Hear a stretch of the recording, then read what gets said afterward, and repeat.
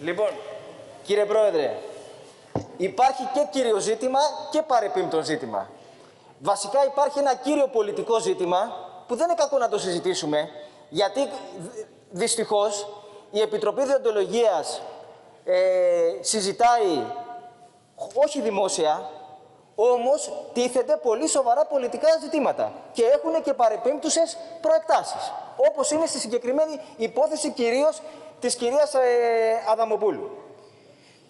Τι προκύπτει ξεκάθαρα από αυτή τη συσσόρευση υποθέσεων που έχουμε το τελευταίο διάστημα και που συζητάμε σήμερα; Προκύπτει η προσπάθεια που γίνεται από την κυβερνητική πλειοψηφία της Νέας Δημοκρατίας να νομιμοποιήσει και να εγκαινιάσει μία πρακτική άρσης της βουλευτικής ασυλίας για πράξεις βουλευτών ή για γνώμες βουλευτών που σχετίζονται κατεξοχήν με την κοινοβουλευτική τους και πολιτική τους δραστηριότητα. Κάτι το οποίο απαγορεύεται και από την αναθεωρημένη μορφή του άρθρου 62, το οποίο σημειωτέων εμείς δεν το ψηφίσαμε. Δεν ψηφίσαμε την αλλαγή του άρθρου 62.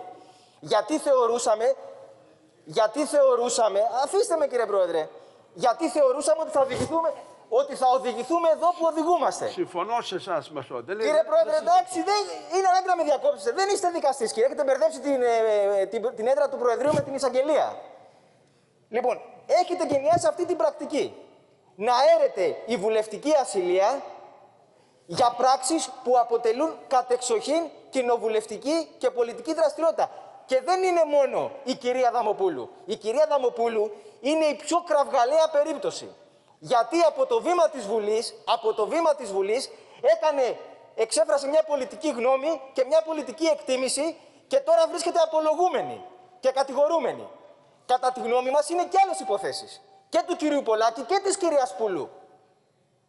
Για τις οποίες εμείς δεν συμφωνούμε να αρθεί η ασυλία.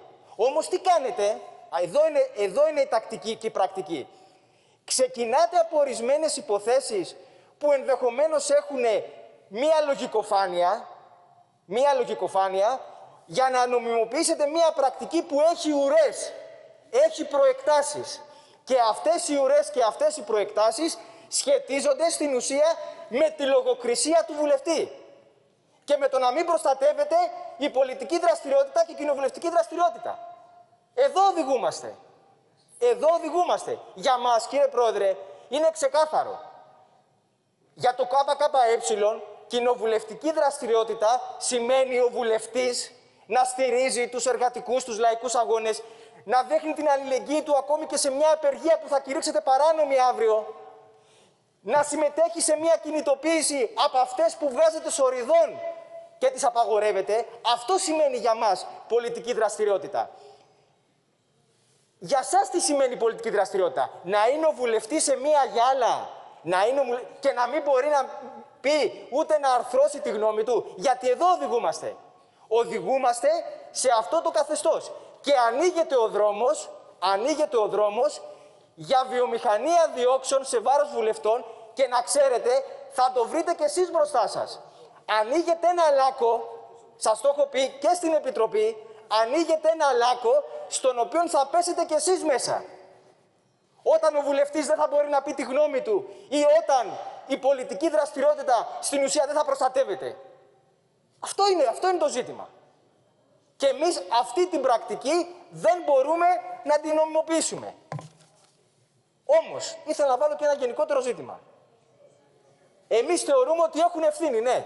Έχουν ευθύνη τα κόμματα και η Νέα Δημοκρατία και ο ΣΥΡΙΖΑ και το ΚΙΝΑΛ που ψηφίσατε μαζί την αλλαγή του άρθρου 62. Και το κάνατε χειρότερο.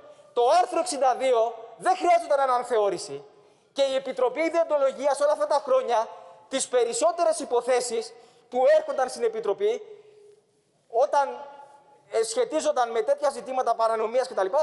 Ομόφωνα αποφάσιζε να έρθει η ασυλία, οι περισσότερες περιπτώσεις έρονταν η ασυλία. Η αλλαγή του άρθρου 62 έγινε για να οδηγηθούμε σε τέτοια φαινόμενα που οδηγούμαστε σήμερα. Εκεί είναι η ευθύνη σας, κύριοι του ΣΥΡΙΖΑ. Και τα λούζεστε τώρα. Γιατί το άρθρο 62 έγινε ακόμη χειρότερο. Δεν συζητάω, κυρία Αδαμοπούλου, αν είχε περάσει η πρόταση του ΜΕΡΑ 25 να μην υπάρχει καθόλου άρθρο 62. Θα πηγαίνατε τώρα στα δικαστήρια και στον εισαγγελέα, ούτε συζήτηση δεν θα κάναμε. Αυτό λέγαμε εμείς τότε. Και τώρα τα βρίσκουμε μπροστά μας. Εμείς δεν φοβόμαστε, δεν νομιμοποιούμε τέτοιες πρακτικές, δεν φοβόμαστε, γιατί ξέρει ο κόσμος, οι βουλευτές, τα μέλη, τα στελέχη του ΚΚΕ πώς κινούνται. Όμως σας λέω, ανοίγετε επικίνδυνα μονοπάτια που θα πέσετε κι εσείς μέσα.